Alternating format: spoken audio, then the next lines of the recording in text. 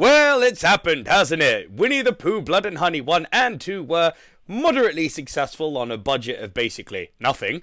And now all of the uh, classic store, uh, fairy tale IPs that are public domain are going to get a horror treatment. And apparently it's going to be called the Poohniverse. Fine, I'm on board. Let's see this trailer. Subscribe to the channel first before we continue, though, please.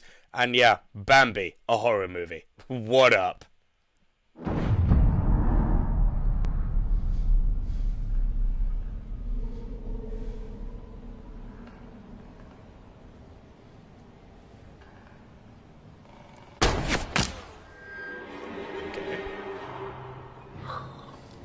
Prince Bambi is most angry you've killed his You ever shot a deer? friends. No. Have you? Yeah. Once. So the hunt is the good guy, huh?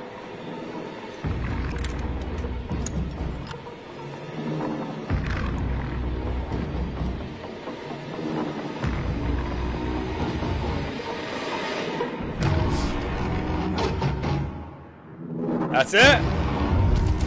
Ah, here we go. Oh! He's huge!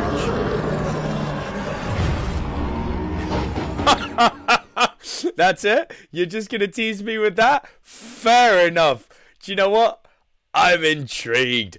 They've told me everything they need to know there. It's Bambi from the point of view of the hunter. Have you ever shot a deer? Yeah, once.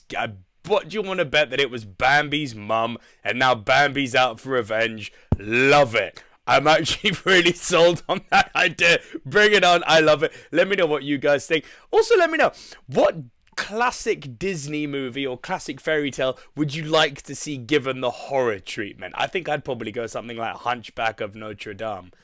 Yeah, messed up Quasimodo. I'm I'm all on board for that. Um, but yeah, subscribe to the channel if you haven't done so already. Keep it right here for more movie news and for more trailer reactions and for what's coming. And we'll see you guys very soon. Bye for now.